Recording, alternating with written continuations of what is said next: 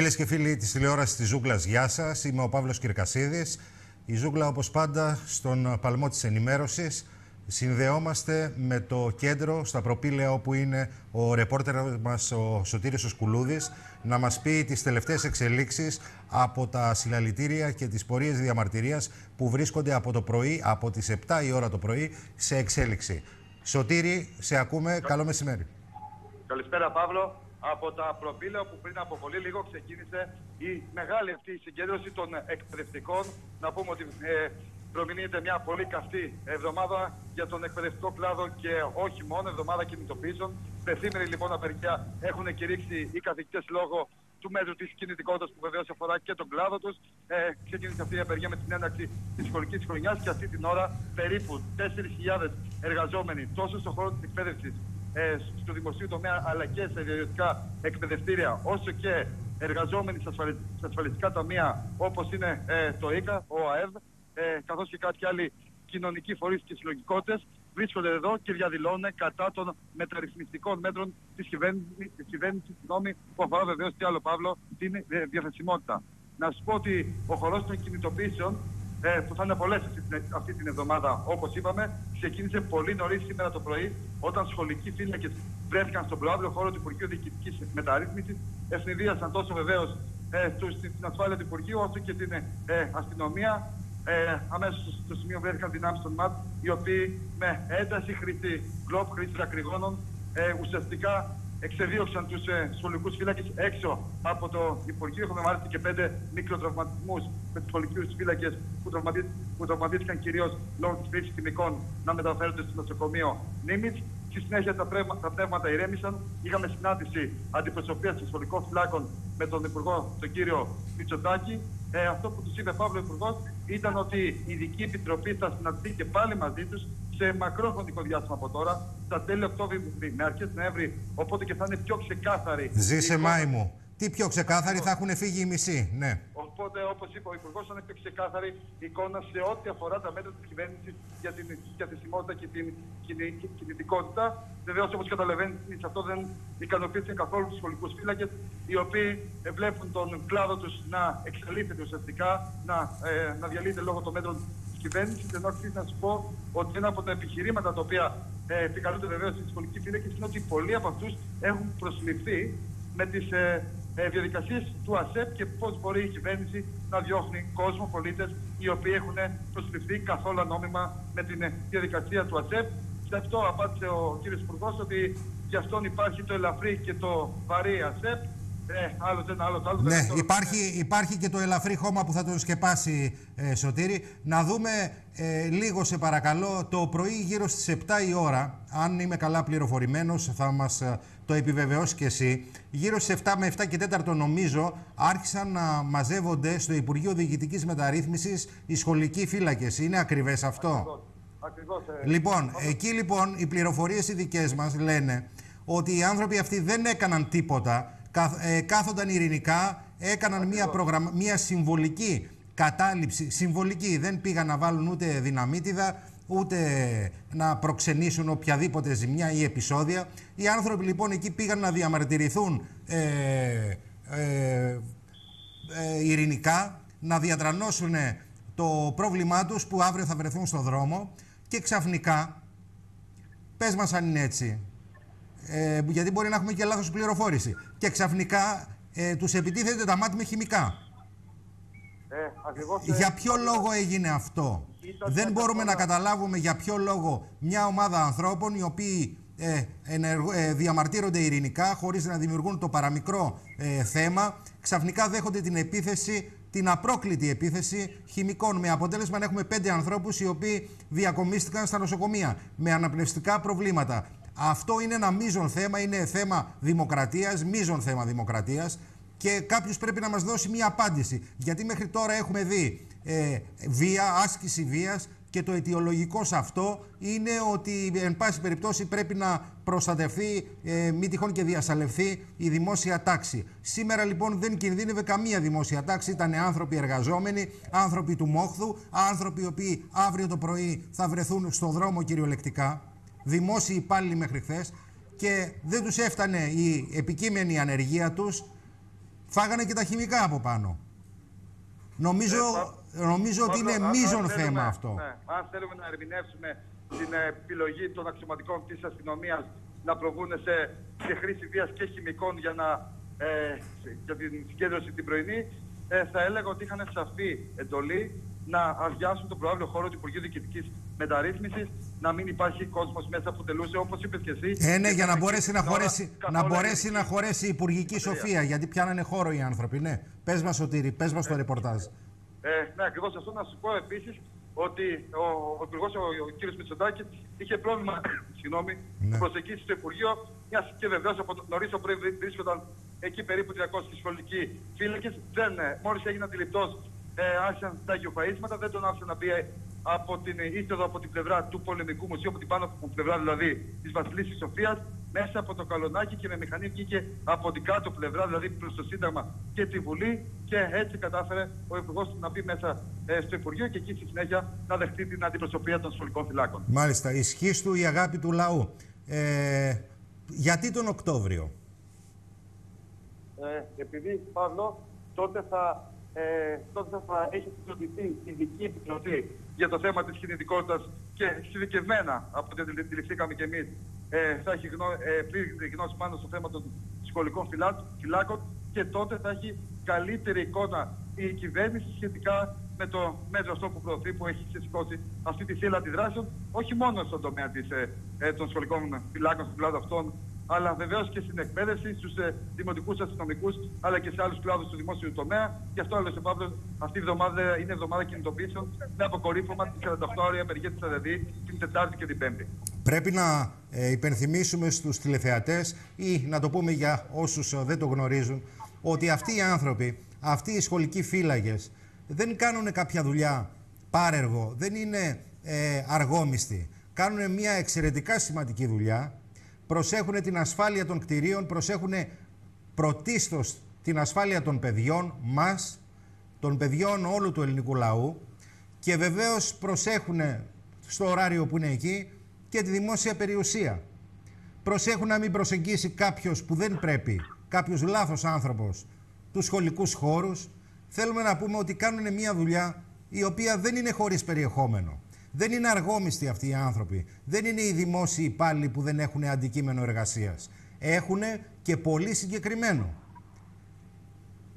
Να προσθέσουμε, Παύλο, σε αυτό που λέγαμε προηγουμένως και σε αυτά που λες και εσύ τώρα, ότι αυτό που τους είπε ο Υπουργός είναι ότι θα εξετάσουν το ενδεχόμενο να υπάρχει ε, με κάποιο τρόπο μοριοδότηση των σχολικών φυλάκων, οι οποίοι ε, εφόσον ισχύσουν συγκεκριμένα μέτρα ουσιαστικά στην εξεργία, να υπάρξει λοιπόν μια μοριοδότηση είτε για τους παλαιότερους, αυτούς που είναι πολύ κοντά στην συντεξιοδότηση, είτε για τους νεότερου που έχουν περάσει με ΑΣΕΠ.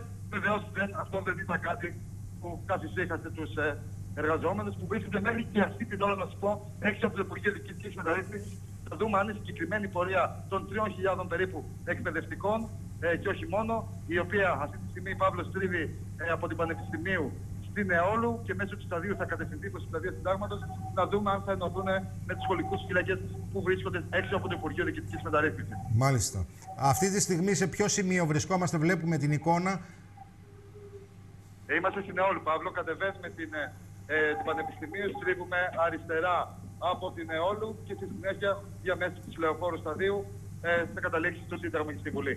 Ε, ποια είναι τα συνθήματα που κυριαρχούν, Σωτήρη; Ας, ακούσ, ας ακούσουμε, Παύλος, σε, ε, με το φυσικό εγώ κάποιο από τα συνθήματα. Βεβαίως.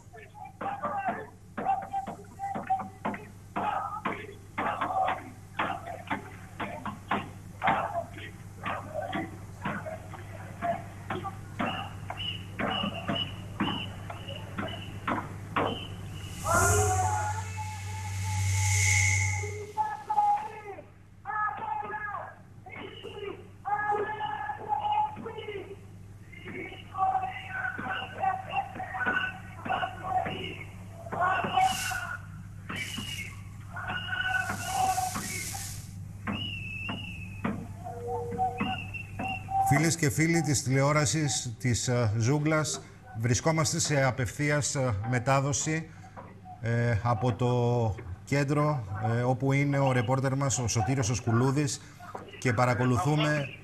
ε, ναι, σε ακούμε Σωτήρη. Έχω αποδείξαμε τον κύριο Κωσυφάκη, τον πρόεδρο του ΚΟΚΕ, και το περνάω στη γραμμή να μας επαναλάβει αυτά που λέει το οποίο πιάσουμε με τον αγώνα αυτό των εκπαιδευτικών στο μεγάλο αυτό του κοινό Καλημέρα σας. Καλημέρα. Ναι, καλημέρα κύριε Κοτσιφάκη, καλημέρα κύριε Πρόεδρε. Δεν σας ακούω πολύ καλά. Ε. Είναι ένα τεράστιο συλλαλητήριο. Είναι μια τεράστια απεργία. Οφείλει η κυβέρνηση να ακούσει τον παλμό, την αγωνία, τα αιτήματα των εκπαιδευτικών. Οφείλει να αλλάξει πολιτική επιτέλους. Να σταματήσει τη διάλυση του δημόσιου σχολείου και την εξαπλήρωση των εκπαιδευτικών. Αυτό το μήνυμα δίνουμε.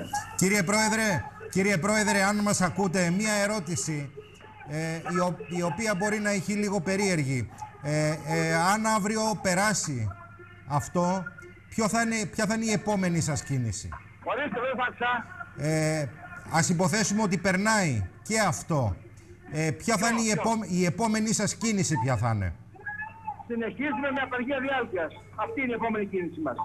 Το μήνυμα είναι όλοι μαζί και καλούμε όλο τον κόσμο να κατέβει στους δρόμους. Δεν είναι τίματα των εκπαιδευτικών μόνο, είναι τίματα όλου του κόσμου. Να σταματήσει αυτή η πολιτική που διαλύει τα σχολεία, τα νοσοκομεία, τα πάντα σε αυτή τη χώρα. Είναι η Μάλιστα. ώρα να δούμε όλοι. Κύριε Πρόεδρε, πόσοι ακριβώς βρίσκονται στο φάσμα της ανεργίας στην πραγματικότητα; Πραγματικότητα από την ευτυχώς εννοείται. Μάλιστα. Χιλιάδες αναπληρωτές που ήταν, ε, που που ήταν τα προηγούμενα χρόνια, φέτος δεν είναι. Αν, αν έχετε την καλοσύνη να επαναλάβετε γιατί δεν είναι καλός ο ήχος. Λέω μόνο 10.000 αναπληρωτές στα αδελφοί μας έχουν χάσει τη δουλειά τους. 2.500 βρίσκονται στη διαθεσιμότητα από τους μόνιμους. Και χιλιάδες εκπαιδευτικοί θα χάσουν τη δουλειά τους τα επόμενα χρόνια με τους σχεδιασμούς της εταιρείας. Μάλιστα. Θέλουν να πάνε το, το προσωπικό να το μοιράσουν είναι κατά 40%. Έχουν φτάσει ήδη περίπου το 30% και θέλουν κάτι 40% αγωνίες. Δυστυχώς, ε, φίλες και φίλοι, δεν είναι και τόσο καλός ο ήχος, αλλά οι συνθήκες οι αντικειμενικές είναι λίγο ε, δύσκολες. Εξακολουθούμε και βλέπουμε ζωντανά εικόνες από το κέντρο.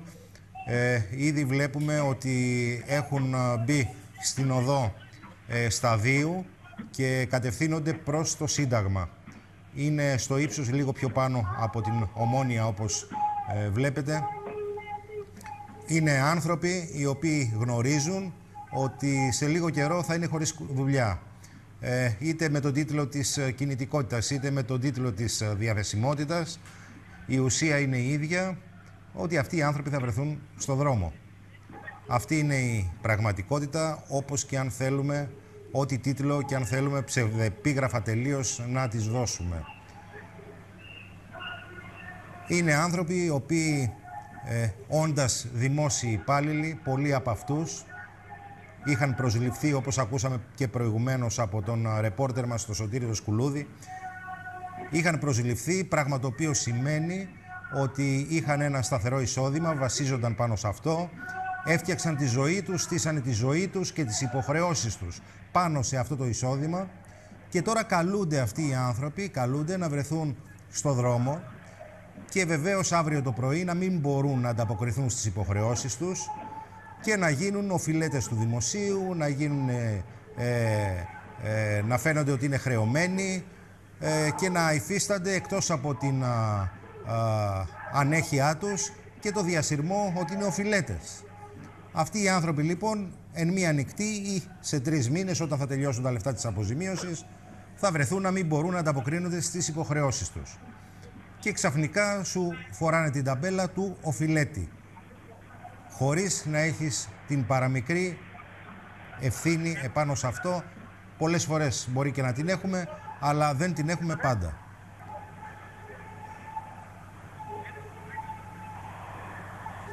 Βεβαίως οι πορείες αυτές, φίλες και φίλοι, δεν ξέρουμε τι ανταπόκριση και με τι τρόπο φτάνουν ε, στα αυτιά των ε, ε, ηθινόντων.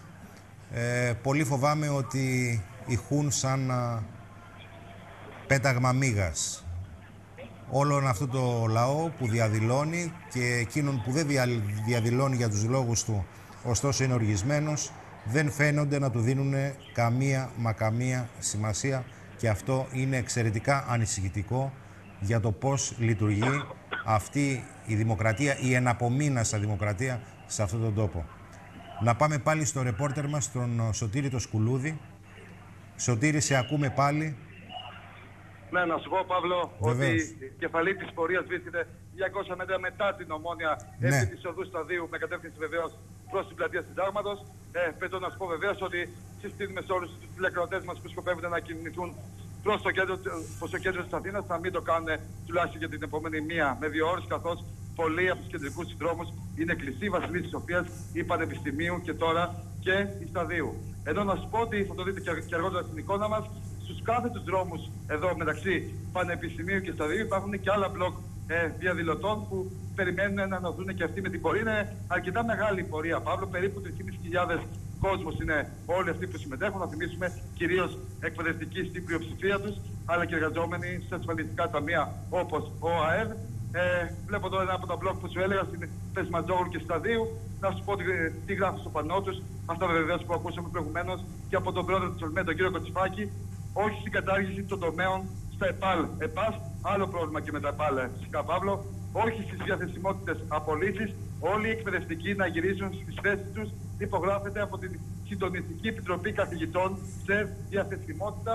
Ε, και να επισημάνουμε, Παύλο, ότι ένας από τους κύριους λόγου εδώ έχει εκπαιδευτική, πέρα από τις απολύσεις και την κινητικότητα, είναι και ε, ουσιαστικά οι μεταθέσεις ε, καθώς αρκετοί από αυτούς αναγκάζονται ενώ υπηρετούν, ενώ μάλλον λειτουργούν σε, για αρκετά χρόνια σε ένα συγκεκριμένο μέρος της Ελλάδα, λόγω όλων αυτών των μέτρων μπορεί να βρεθούν σε ένα τελείως διαφορετικό μέρος και παρότι έχουν συμπληρώσει τα απαραίτητα μόρια προκειμένου να βρίσκονται στον τόπο προτιμησή τους, συνήθως στον τόπο καταγωγής τους. Άρα το, οι πολλές μεταθέσεις που θα γίνουν είναι και αυτός ένας από τους βασικούς λόγους της διαμαρτυρία των εκπαιδευτικών σήμερα.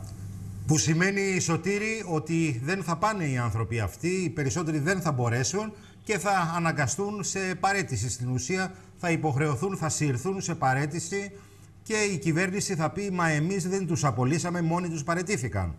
Κάπως έτσι. Και βεβαίως στο σημείο αυτό να ε, υπενθυμίσουμε και μία ακόμη παράμετρο. Θα παραπέμψουμε σε πρωτοσέλιδο του, του Zoogla.gr, ε, το οποίο είχαμε πριν από τρεις ε, περίπου ημέρες, ε, όπου τα ασφαλιστικά ταμεία, ε, τα μεγάλα ασφαλιστικά ταμεία ε, στενάζουν και κάτω από το φάσμα της όλο και κλιμακούμενης ανεργίας. Ήδη έχουμε φτάσει στους 1.400.000 ανέργους, που σημαίνει ότι αυτοί οι άνθρωποι, εκτός από το, το κοινωνικό πρόβλημα, εκτός από το ατομικό τους πρόβλημα, δημιουργούν άθελά τους με την ανεργία τους πρόβλημα και στα ασφαλιστικά ταμεία καθώς ο άνεργος δεν εισφέρει, δεν πληρώνει εισφορές.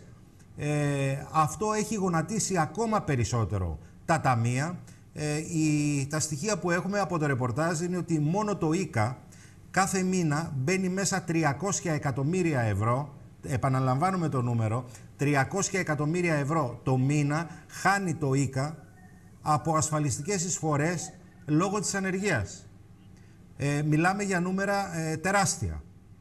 Ε, αν τώρα σε αυτά προσθέσουμε και ένα τεράστιο εξίσου ποσοστό ε, της ανασφάλιστης εργασίας, της μαύρης εργασίας, στην οποία χρειάζεται, αναγκάζονται να καταφύγουν και εργαζόμενοι και επιχειρηματίες γιατί δεν έχουν λεφτά να πληρώσουν τις εισφορές.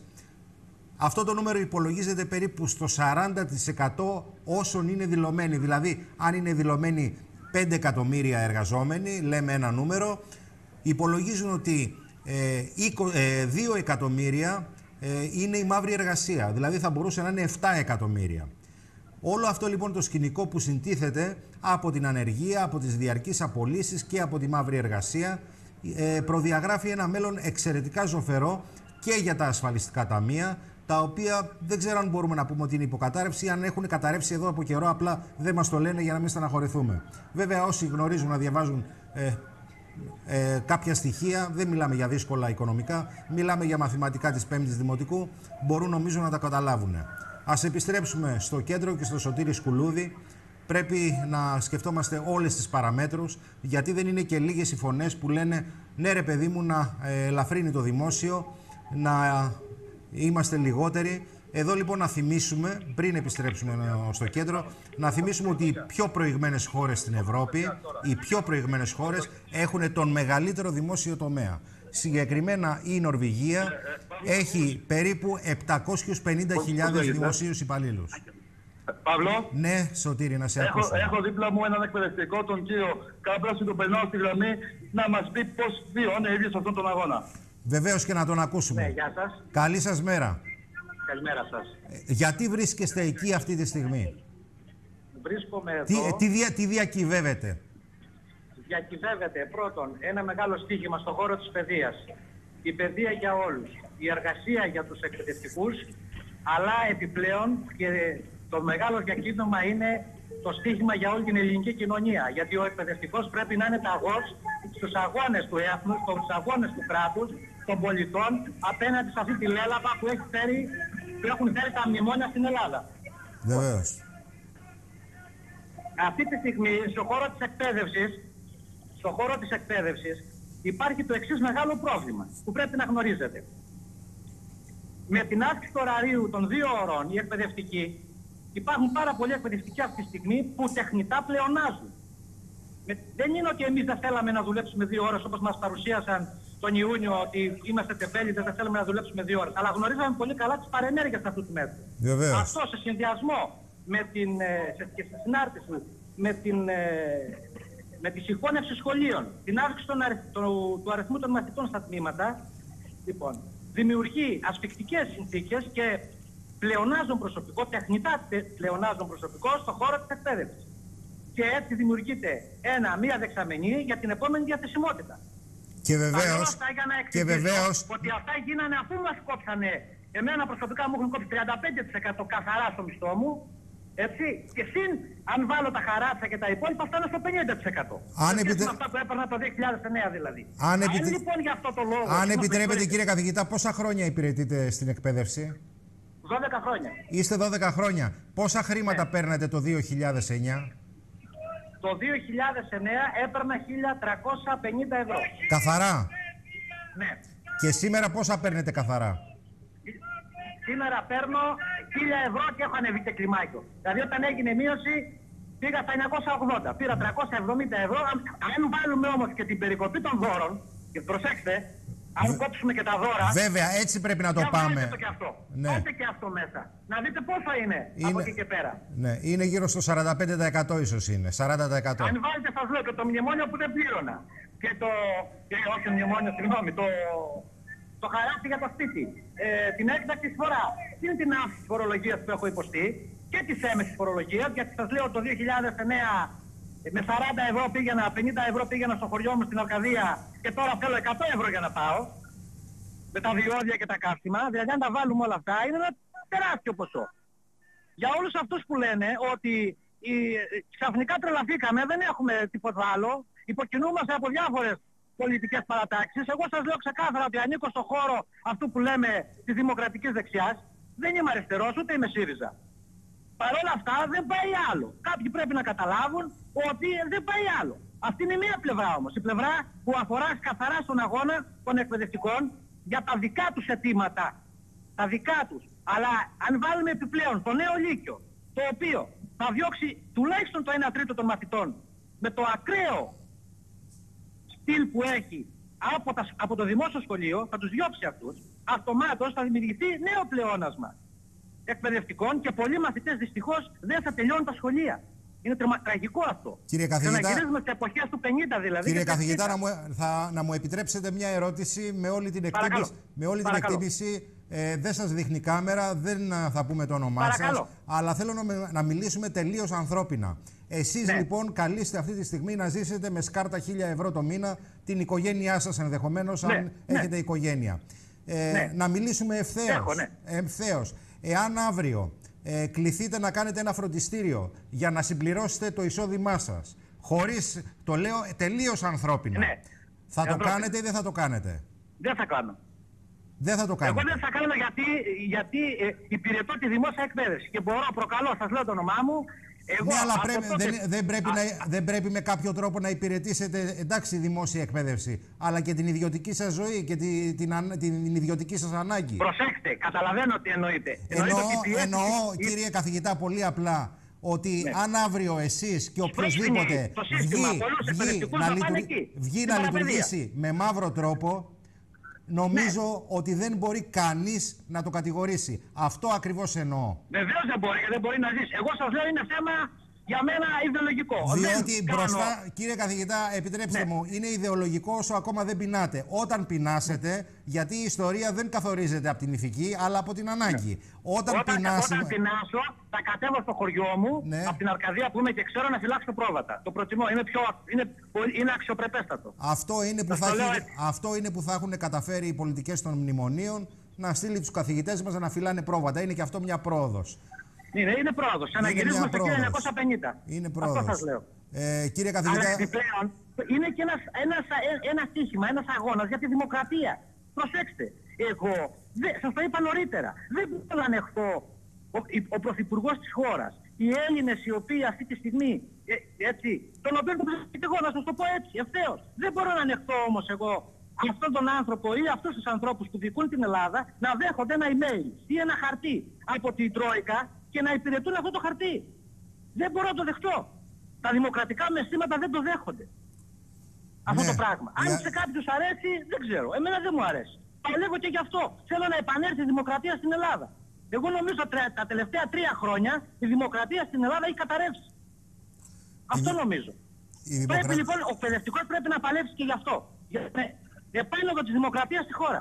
εδώ Τη κύριε... σωστή δημοκρατία. Για τη δημοκρατία μπορούμε να πούμε εντάξει. Όλοι Εδώ, έχουμε. εδώ κύριε καθηγητά με όλο το σεβασμό Ναι. ως ε, τηλεθεατής, ε, ως ε, ε, καθηγητής που είστε ε, θα σας πω ε, ότι και εσείς όμως έχετε ένα μερίδιο ευθύνης ε, και το λέω αυτό με εξαιρετικά καλή διάθεση και εξαιρετικό, για εξαιρετική εκτίμηση σε αυτό που κάνετε. Θεωρώ ότι αυτό που κάνετε είναι υψής της σημασίας. Υψής και δεν το λέω να σας κάνω την καρδιά. Έχετε Ευχαριστώ όμως, πάρα μη- πολύ. όχι, είναι έτσι. Είναι έτσι να τα λέμε τα πράγματα. Ε, όμως έχετε μία ευθύνη κι εσείς όσον αφορά τι; Ότι δεν σας είδαμε κύριε καθηγητά ποτέ ως κλάδο να κατεβαίνετε κάτω ε, χωρίς κάποιο οικονομικό αίτημα. Μιλάμε για την περίοδο την καλή των ε, παχαίων αγελάδων. Ε, δεν Εγώ σας θέλω- είδαμε... Επειδή ξέρω να σας μιλάω για πολλούς, γι' αυτό και τότε τη συμμετοχή στις απεργίες Ναι. της έδινε ο ίδιος ο κλάδος. Όταν υπήρχαν 15% και 10% Ναι. Καταλαβαίνετε και ε, δείχνανε οι ίδιοι οι εκπαιδευτικοί ότι δεν συμμερίζονται αυτά τα, τα αιτήματα. Σήμερα είναι ένα πλέγμα θεμάτων, σας λέω, που έχει οδηγήσει τον κόσμο, τον εκπαιδευτικό κόσμο στον δρόμο. Τότε απεδεικνύεται από τον τρόπο που αντιμετώπιζαν οι εκπαιδευτικοί τις απεργίες αυτές με συμμετοχές της τάξης του 20-15% Εντάξει, το απεδείκνυαν ότι εντάξει ρε παιδιά, τα λέτε, αλλά εμείς δεν συμμετέχουμε. Πάμε στις μαθητές μας, κάνουμε μάθημα. Μάλιστα. Σήμερα όμως είναι άλλα πράγματα. Μπαίνουν πολλά πράγματα. Ε, θυμάμαι μία μαζική απεργία, αν δεν με απατάει η μνήμη μου ήταν το 1981, η οποία είχε κρατήσει πάρα πολύ καιρό. Αν Ναι, θυ- ναι, και, και το 89 και το 98 ε, ε, είναι κάποιες, αλλά πολύ πίσω λέμε σε σχέση με τα δεδομένα τα σημερινά. Βεβαίως. Τότε ε, έχετε δίκιο. Ενδεχομένως οι, οι Έλληνες αγωνίζονταν για, να, για κάτι καλύτερο. Προσέξτε, τώρα αγωνιζόμαστε για να μην πάμε ακόμα χειρότερα. Τότε Ε. παλεύανε για να πάρουν μια ή παλεύανε, ξέρω εγώ, για, ε, για κάποια σεμινάρια επιπλέον στον χώρο της, της παιδείας. Τώρα πάμε ή για περισσότερους διορισμούς. Με Τώρα βάση- πάμε για να μην υπάρξουν απολύσεις. Ο, ε, Υπάρχουν ήδη. Κύριε αγαπητέ κύριε καθηγητά μου, μάλλον ε, αυτό που είπατε είναι το πιο σημαντικό προηγουμένως, ότι πριν από όλα αυτά που λέτε πάμε για δημοκρατία, ζητάμε δημοκρατία. Ναι, αυτό είναι το Ο βασικό κόσμος για ζητάει μένα. δημοκρατία, ναι. Αυτό το θέμα που θέσατε. Πολύ σωστά.